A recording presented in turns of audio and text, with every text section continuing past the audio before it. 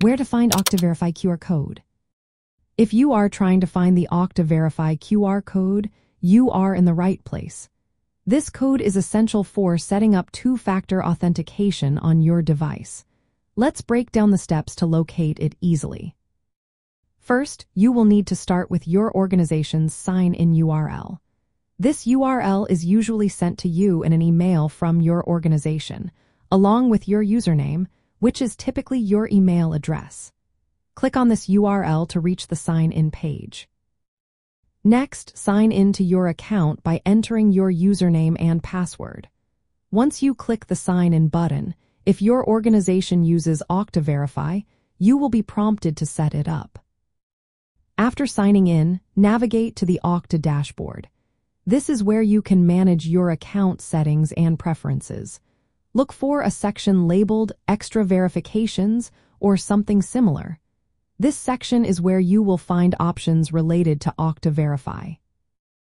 If you have previously set up Okta Verify, you will see an option to remove it. Click on the Remove button. This action will change the option to set up, allowing you to generate a new QR code. Once you click Set Up, a new QR code will appear on your screen. This QR code is what you will use to enroll your device with Okta Verify. Now, grab your mobile device and open the Okta Verify app. This app is available for both iOS and Android devices. Follow the instructions within the app to add your account. When prompted, use your device's camera to scan the QR code displayed on your computer screen. After scanning the QR code, follow any additional instructions to complete the setup process.